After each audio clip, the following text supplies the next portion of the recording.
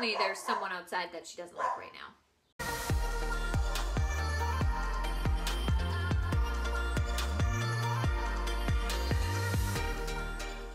Hello everybody, it's Kristen here. Welcome back to my channel. So today I'm going to be doing the I Dare You book tag and I was tagged by the lovely Sylvia Kay. I'm gonna link her channel down below so you can go check her out. So before I started filming this, I wanted to look up the I Dare You tag. I discovered that there's two different I Dare You book tags. I'm gonna do the one I was tagged in and I, I'm not even completely sure about the other one. But I mean, whatever, it doesn't matter. So there's three rules apparently on this. Um, I have the weirdest hair here. Like, why are you doing this? So the three rules are you must be honest, you must answer all the questions, and you must tag at least four people. So without further ado, let's get into the tag. So question number one, what book has been on your shelf the longest? The answer I have for this question is Charlotte's Web by uh, E.B. White. This is one I remember reading when I was younger. I'm not gonna stack them here because guys, that would just get too crazy because I actually have a lot of books to show. Question number two, what is your current read, your last read, and the book you'll read next? The book I'm currently reading right now is The Unexpected Everything by Morgan Matson. And can we please just say, this is the most spring book I have ever seen. And even the, gosh, even the dust jacket, like, look at that. It is so spring. when I first um, took off the dust jacket for this book, can we just please enjoy the fact that inside is just major face and dog's nose. So the book that I last read, oh my gosh, I can't even remember. Where did I put it? The book I finished last was Graduates in Wonderland by Jessica Pan and Rachel Kapelke Dale. Oh my gosh. I have a review on this book, so I will link that video down below. But yeah, this was a really good, entertaining read. The book that I plan on reading next is Miss Peregrine's Home for Peculiar Children by Ransom Riggs. I am buddy reading this with Rita from Rita Book. So if you want to join us in May to read this book, uh, you are welcome to. Oh, don't fall. Okay, coffee. Question number three. What book did everyone like but you hated? I have an answer for this one. That book is Graceling by Kristin Cashore. I read this book earlier this year and I did not think it was that good. I didn't think it was written well. Um, there was so much potential with it, but I just felt like it fell flat. If you're thinking about reading it, comment down below and I can chat to you what I thought about it and maybe you'll read it, maybe you won't, I don't know, but I'm happy to give my opinion on this if you want. Question number four, what book do you keep telling yourself you'll read but you probably won't? For this answer, I kind of kept it quite a broad answer and I said uh, classics. I am starting to read more classics and I'm really, really happy about that.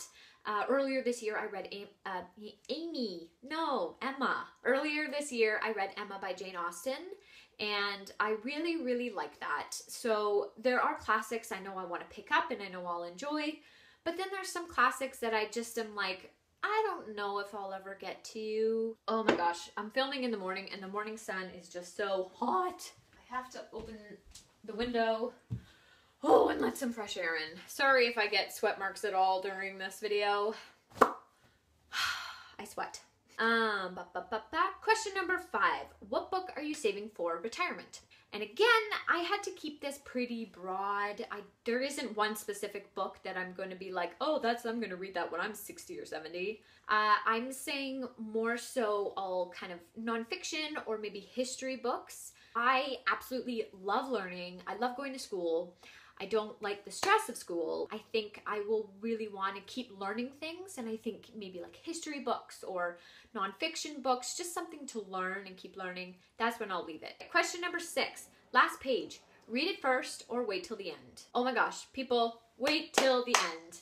Why would you spoil it for yourself? I cannot do that. I am 100% page one, right till the end. Don't flip flop between the pages or the chapters. Uh, question number seven, acknowledgement. Waste of paper and ink or interesting aside.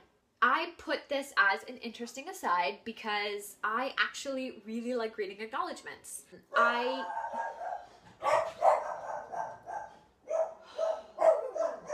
Oh my gosh, I, I can't. Come in, come on. All right, so Mabel really wanted to be in this shot, so I'm gonna show her to you guys. So everyone, this is my puppy. This is Mabel. She is a miniature schnauzer. And um, I know she doesn't have the schnauzer cut except for the beard, but whatever, she's cute.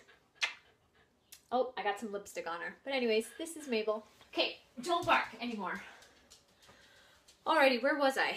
Oh yeah, acknowledgement. Um, yeah, I actually really like reading acknowledgements. It gives you a little bit of an inside look on kind of the author's process of writing and who was involved. I find it really interesting. Question number eight.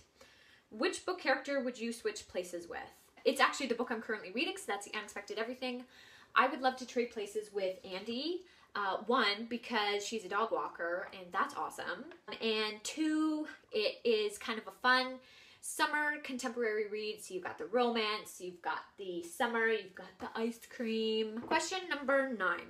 Do you have a book that reminds you of something specific in your life? I actually had a lot of books for this answer.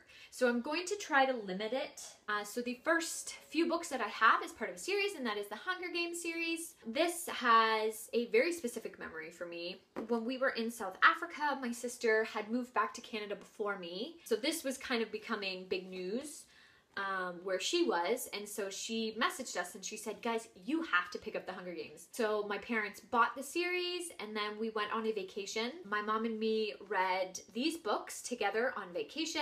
Really good memories here. It was a great holiday and um, this was kind of the first young adult books that I really uh, read.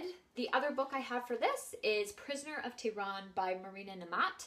This book has uh, specific memories as well. Um, this is again when I was living in South Africa. My mom reads so many nonfiction, memoirs, all those types of books. She actually had gotten this book, but she hadn't read it yet, and I picked it up before her. And I never picked up these types of books when I was in high school, but I picked it up and I read it. It was so amazing. Um, and so I told my mom about it, and then she picked it up right away and she loved it. Yeah, so specific memory for me. Question number 10.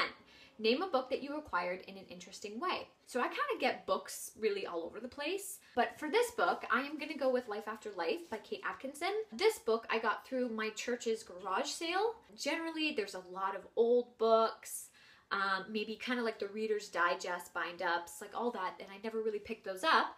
But last summer, this book was just kind of like in the pile and it was like bright white and I was like, ooh, what's that? I was super happy to see this. So I bought it for two bucks and it's in really, really good condition. So that to me was an interesting way of getting a book. If it's an inappropriate book, I will be like, what? Who was reading this book? Question number 11.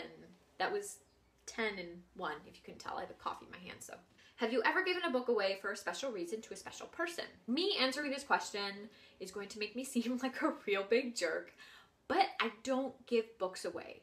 Very rarely do I give a book away. I don't have a lot of people around me that read, so even if I gave a book away, it wouldn't be read, and I kind of feel like that would be a little bit of a waste.